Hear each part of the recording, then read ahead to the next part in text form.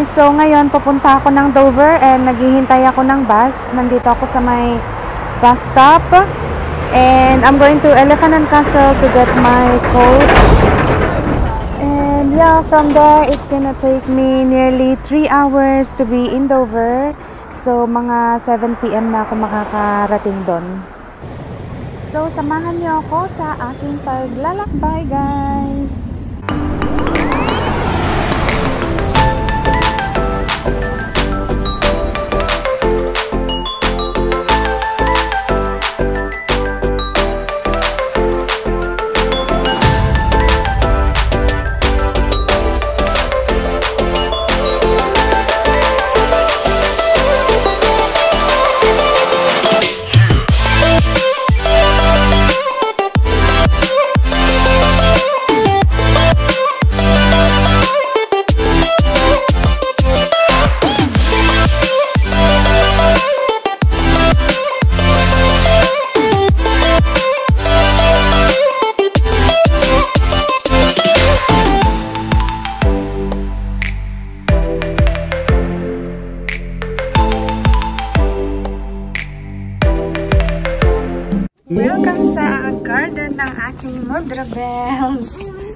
Ang gaganda ng flowers. Oh.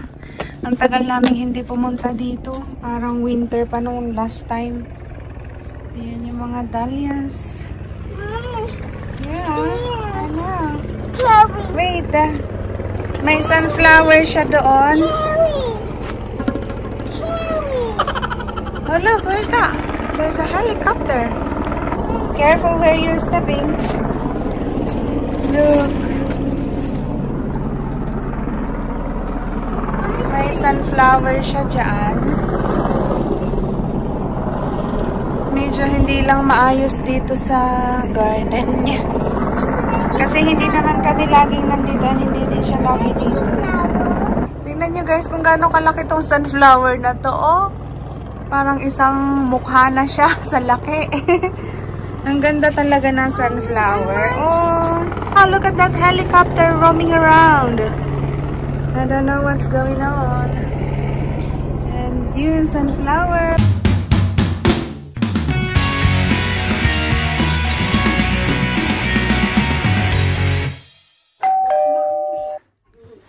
Jimbo, Jimbo. Ang cute. Kulit. Yeah, hug Jimbo. Hug. Hug Jimbo. Let me see Jimbo. Ooh, so cute. this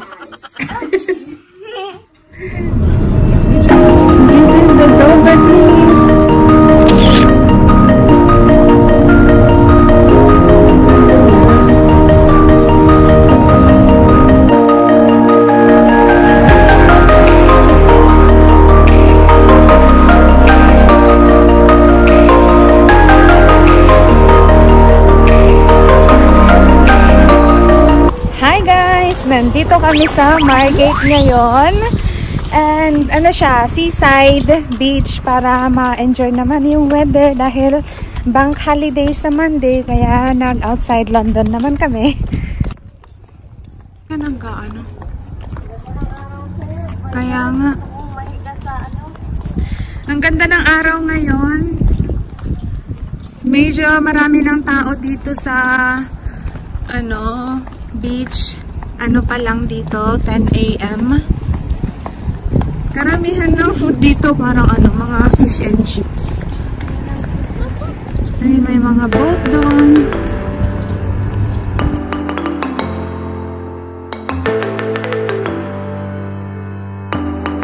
Come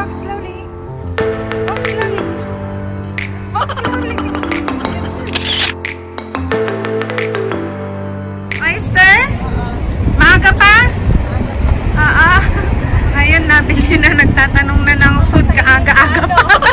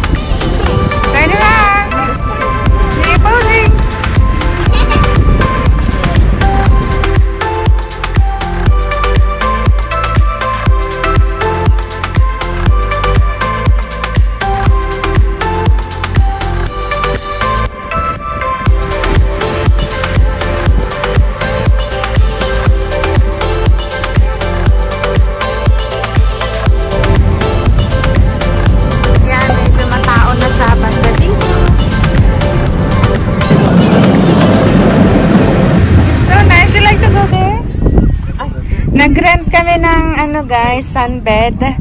4 pound 50 ang isa. 4, 4 pound ang isa and yung umbrella meron din. 4 pounds din. Ayun, ang mahal. Pero maghapon na yan. Nandito kami ng umaga. So, 5pm ang collection nitong mga to. So, sulit na rin. At least, uh, comfortable na makarelax dito sa beach, di ba? Ito ang sand beach nila dito sa Margate. And marami na ring tao. Nandun sila sa gilid-gilid. May mga nagpaparasailing din doon. Ito yung snack namin dito. Crisca. Bigay ng best friend ko. Yes! Nice! It's so crunchy. Hindi pa siya makunat. And it's yeah, beef flavor kaya masarap siya. May green peas, may nuts. Gustong gusto ni. Sarah!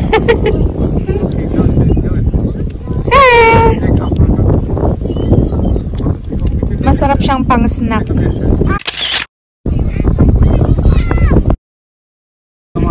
Ayan, may delivery kami. Food from Uber. Uber sa beach. Joke lang. Bumili yung ano, asawa ng kapatid ko. May Happy Meal. And we have kebabish. Kebab. Kebabalicious. Ah, ah, it's close. Ah, fish and chips pala. But thanks anyways. diba? You got these? Happy meal for the kids. Happy na sila dyan. This one here,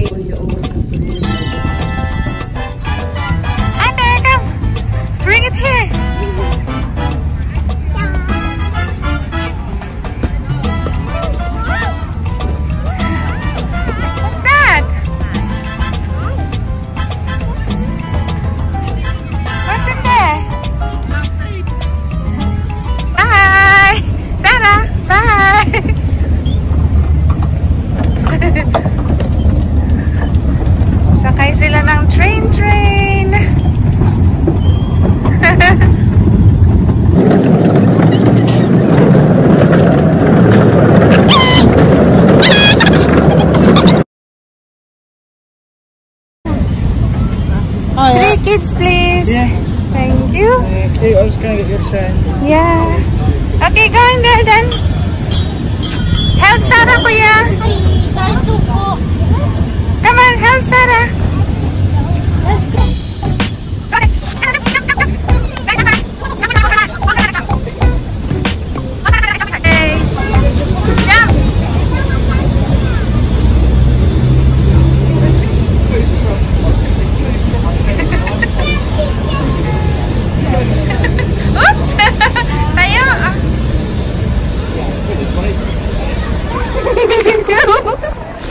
Mama!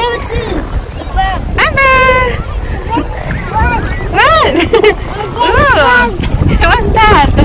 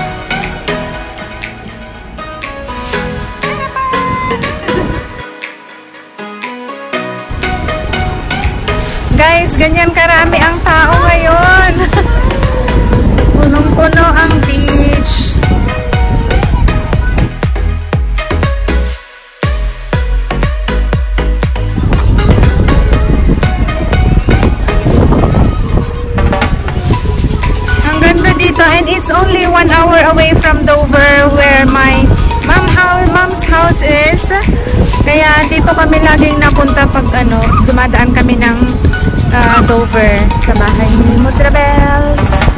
And yan, my dreamland din, mga rides for the kids pero hindi na kami pupunta doon.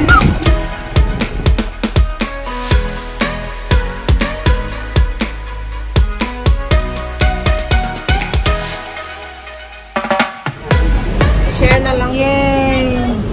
Share it with Sarah, okay? Feed Sarah as well. Yum.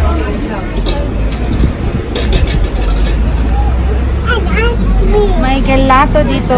Ang sarap. Best ice cream is gelato. Gelato.